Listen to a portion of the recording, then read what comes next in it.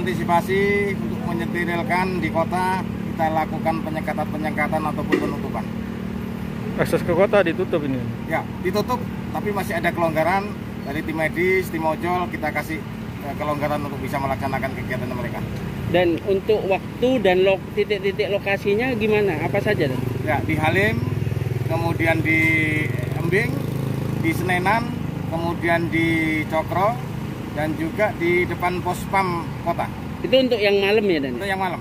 Kalau sore Dan ada juga nggak Dan? Ya, sore ada menjelang buka, jadi untuk meminimalisir eh, pergerakan kendaraan ataupun orang yang ada di kota ini.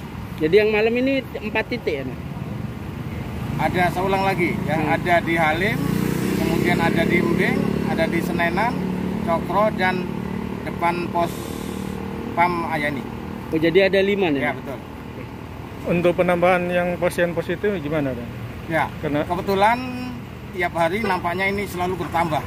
Ya, mulai kemarin nambah tiga, sekarang nambah satu.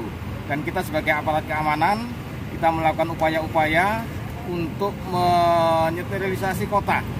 Eh, jangan sampai eh, menimbulkan permasalahan baru. Siap. Kasih Dan.